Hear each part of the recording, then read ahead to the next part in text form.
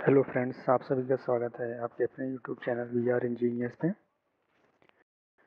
तो friends UPSC Indian engineering services examination सन 2019 का result कल यूपीएससी द्वारा अनाउंस कर दिया गया है।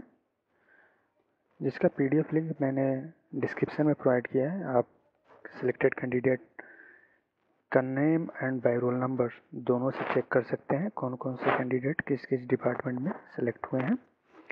सिविल, मैकेनिकल, इलेक्ट्रिकल, इलेक्ट्रॉनिक्स और टेलीकम्युनिकेशन इंजीनियरिंग के कैंडिडेट इसमें सेलेक्ट किए गए हैं। ये मिनिस्ट्रियल के अंतर्गत भारत सरकार के अंडर में काम करते हैं और इंजीनियरिंग की सबसे हायर इंजीनियर पोस्ट की ये रिक्रूटमेंट की जाती है। यूपीएससी के द्वारा और संघ लोक सेवा आयोग द्वारा। तो लिंक पीडीएफ का डिस्क्रिप्शन में आप लोग सभी जाकर चेक करें।